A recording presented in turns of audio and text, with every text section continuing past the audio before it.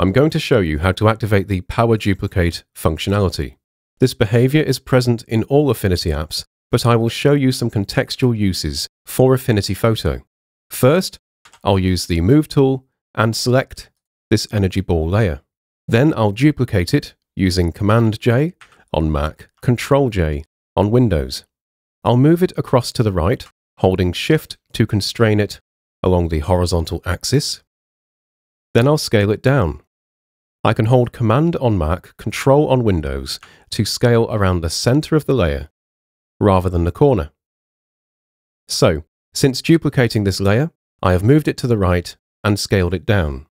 Without switching away to another tool, if I duplicate again, these operations will be repeated using the relative transform values from the previous duplication. I can duplicate repeatedly to create multiple copies that gradually become smaller. This also works for rotation, so I will show you this on another example. I have this layer here called fireballs.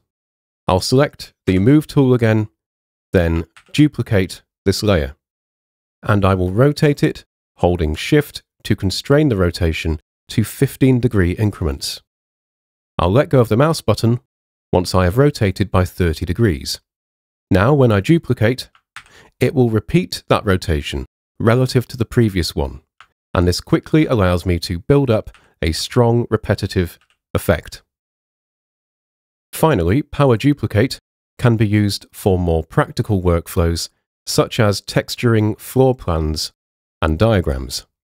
With this diagram, I will zoom all the way into the staircase and then I'm going to click drag this wood texture JPEG file in to place it.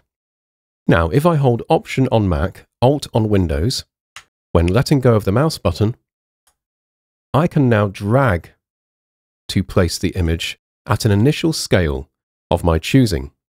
I can also hold Shift to perform non-proportional scaling, which allows me to fit the wood texture into the white area of the step here. Then, once I'm zoomed out, I can hold Command on Mac, Control on Windows when click dragging to clone the layer. I'll hold Shift to constrain the vertical alignment, then let go of the mouse button. Now I can duplicate several times to quickly fill out the stairs with the wood texture. As a final step, I can select all of my duplicated layers, then group them using Command G on Mac, Control G on Windows. Then I will add a brightness and contrast adjustment, and I will clip this layer into the group by click dragging and letting go of the mouse button over the thumbnail. Finally, I'll just push the brightness slider up, allowing me to brighten all of the wood image layers together. And there we go. That was a quick look at power duplication. I hope you found it useful, and thank you for watching.